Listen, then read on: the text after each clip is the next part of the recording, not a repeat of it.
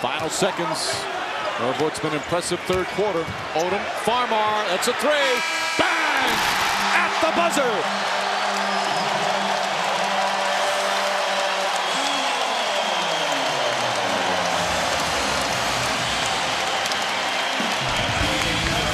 Lakers 39 points in the third quarter.